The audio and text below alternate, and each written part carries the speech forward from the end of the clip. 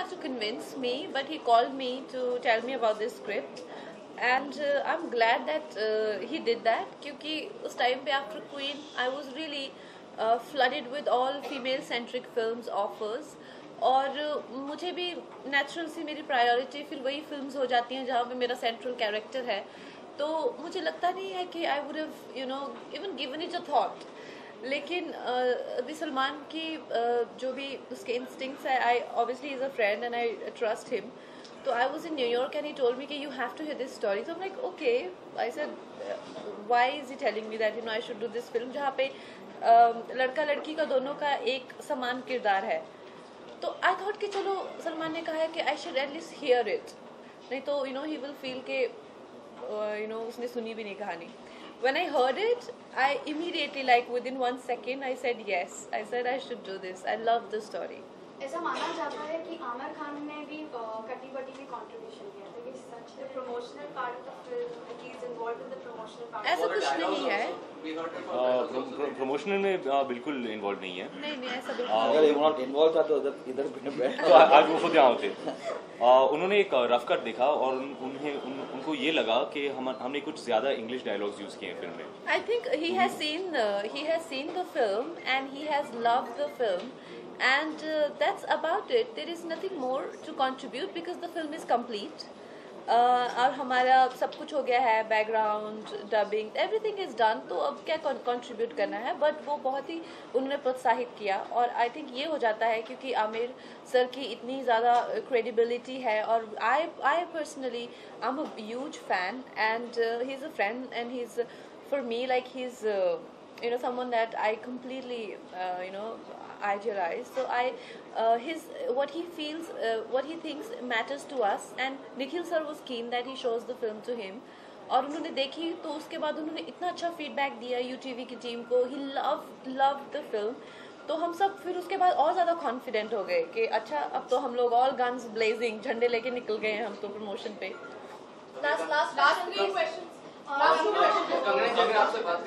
आपका जो कैरेक्टर है ये जो है कई लोगों का ऐसे मानना है कि थोड़ा मुझे कहीं तन्नू जुलता है। मतलब भले बिंदास तरीका हो या जो लाइफ की तरफ़ जो पर्सपेक्टिव होता है वो कहीं ना कहीं तन्नू से मिलता जुलता तो आप कितना तनुजा त्रिवेदी जैसा कोई नहीं है इस दुनिया में आई फील शी इज़ नहीं इतनी एक्साइटिंग लाइफ नहीं है uh, पायल की। लेकिन she is another person who I discovered and she is definitely one of those people who I identify with जो एकदम uh, जो कोकोनट टाइप कैरेक्टर होते हैं जो बाहर से बहुत ही हार्ड लगते हैं और बहुत ही ज़्यादा वो लगते हैं, पर अंदर से बहुत ज़्यादा वनरेबल होते हैं। So they have this persona of के you know I am very cool और मेरे से पंगा मत लेना। लेकिन अंदर एक सारा दिन घर पे बैठ के रोना और यू नो चॉकलेट्स खाना, उसमें। तो so I think she is like that and she is a very cute character but completely misunderstood but not like Tanuja Tanuja Trivedi is like जो उनका है ना कि इस औरत को बाहर में छोड़े दुनिया बर्बाद कर देगी।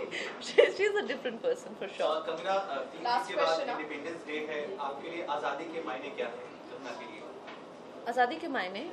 आज़ादी आई थिंक आप अपनी ज़िंदगी के डिसीजंस ले सकें। आप एक आपको हर तरह की आज़ादी मिले। लेकिन आज़ादी का मतलब ये नहीं है कि आप you know you ignore your values और अगर आपके पेरेंट्स आपको गाइड करते हैं, इसका मतलब ये नहीं है कि वो आपकी आज़ादी छीन रहे हैं, या there are rules you follow the rules it's good for everyone growing up I hated following rules मुझे लगता था कि रूल्स फॉलो नहीं करना इज़ वेरी कूल तो कभी भी क्यूज ब्रेक करना, या सिग्नल तोड़ के निकल जाना जहाँ पे जो भी रूल हो, वो मुझे फॉलो नहीं करना था, बस. And I thought it was cool but अब जब मेरी मुझमें मेच्योरिटी आई है और मैं देखती हूँ कि कितना वो एक असुविधाजनक हो सकता है सबके लिए चाहे कोई भी इंसान किस भी लेवल पे करे तो मुझे I am the first person now to set rules and to follow rules और अगर वो बिल्कुल लेम रूल क्यों ना हो जाए I follow all the rules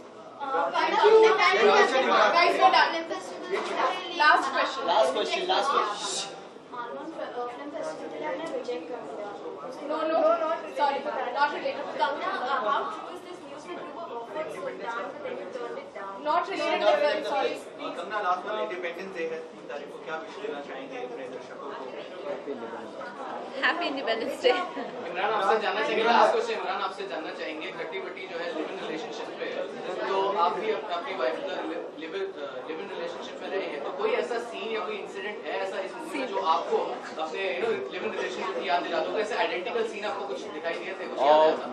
ऐसे ऐसे बहुत सारे झलक बहुत सारे झलक नज़र आएँगे आपको इस इस पूरी फ़िल्म में। खास करके जब मैं नरेशन सुन रहा था जब मैं स्क्रिप्ट पढ़ रहा था एक के बाद एक ऐसे सीन्स आ रहे थे इन इन कपल के बीच में जो अ, सिर्फ़ वो बंदा जो लॉन्ग टर्म रिलेशनशिप में रहा है उनको समझ में आएगा। There, there are those moments which only uh, fights which only couples have there are the makeups which, which only and for me while reading I I was feeling यार ये मेरी ज़िंदगी का एक झलक है। I had the same fight and then I made up in in the same way it is all of these moments are true to life